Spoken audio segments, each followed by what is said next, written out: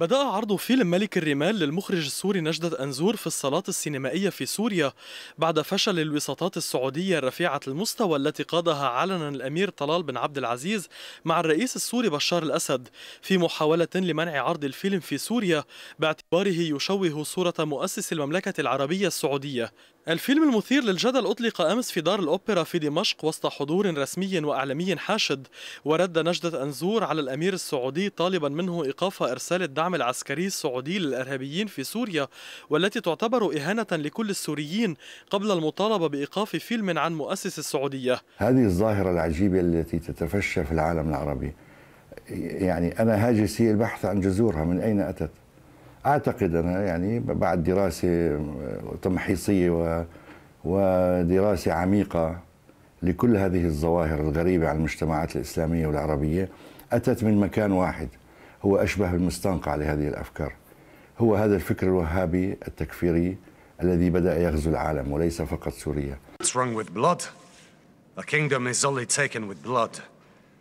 The Sultan will never be obeyed, but by the sword.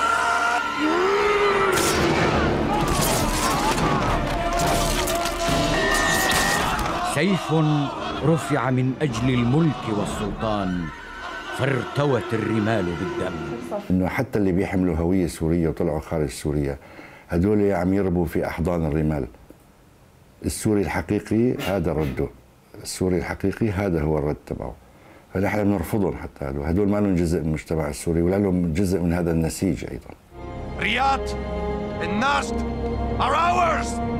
Either we will take it back, we die! وأكد المخرج السوري نجدة أنزور أن فيلم ملك الرمال لم يكن لغايات ثأرية مع النظام السعودي وأنما يخاطب العقلاء في السعودية لكبح جماح من أسماهم الزعران والقتلة الذين يعبثون في المنطقة كلها وليس في سوريا فقط. والهدف التصدي فنيا لظاهرة الإرهاب والبحث في تاريخ هذه الظاهرة وجذورها.